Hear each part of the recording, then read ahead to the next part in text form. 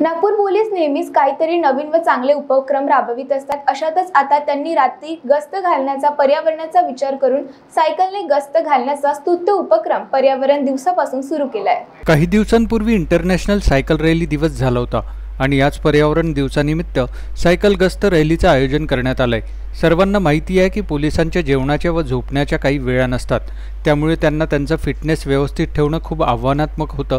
तर या माध्यमातून फिट राहण्यासोबतच सायकल वापरल्याने पर्यावरणातील प्रदूषण थोड्या प्रमाणात टाळता येईल. त्यामुळे हा सायकलिंग गस्त उपक्रम राबविण्यात आल्याची प्रतिक्रिया नागपूर पोलिसांनी दिली. अभी हमारे पुलिस निरीक्षक क्राइम साहब नागोसी साहब ने आपको इनलाइटन तो किया है, फिर भी मैं जो उन्होंने कहा है, अपने शब्दों में बयां करने की कोशिश करता हूँ।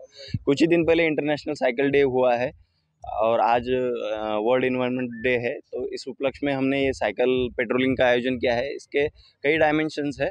एक तो साइकिल से आपको पता है कि पुलिस विभाग में काम करते हुए हमारा खान पान या हमारे डाइट का भी कोई ठिकाना नहीं रहता या फिर हमारी नींद का ठिकाना नहीं रहता। इस वजह से हमारा फिटनेस रखना काफ़ी चैलेंजिंग हो जाता है। तो ये एक माध्यम भी है फिटनेस रखने का।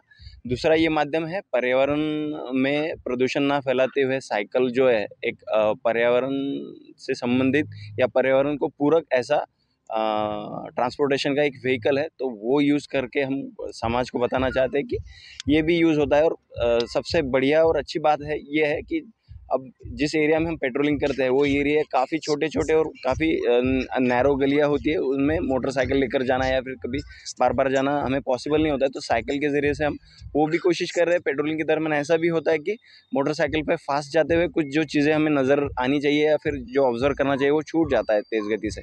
तो साइकिल में ये दोनों चीज़ें हम कवर कर पाते हैं साइकिल पेट्रोलिंग से। तो अच्छा और प्रभावी पेट्रोलिंग भी होता है।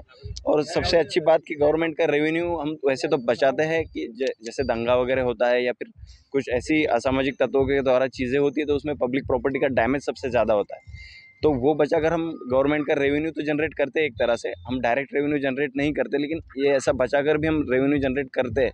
तो जैसे हमको बाइक को पेट्रोल लगता है, आपको पता है कि पेट्रोल का कॉस्ट कितना बढ़ गया है पेट्रोल डीजल का कॉस्ट कितना बढ़ गया है। तो आज अगर हमने कुछ लीटर भी पेट्रोल बचा लिया गवर्नमेंट का तो वो भी हम एक गवर्नमेंट को रेवेन्यू जनरेट करने जैसा ही होगा। तो ये सारी चीज़ें इसको मिलाकर हमने साइकिल पेट्रोलिंग का आयोजन किया है। वीकेबी के बी न्यूजकरिता कॅमेरा पर्सन रोशन बोकड़े बोकडेसह भाग्यश्री ढोंगे यांची रिपोर्ट। अपने सपनों की उड़ान भरने की इच्छा तो हर किसी की होती है।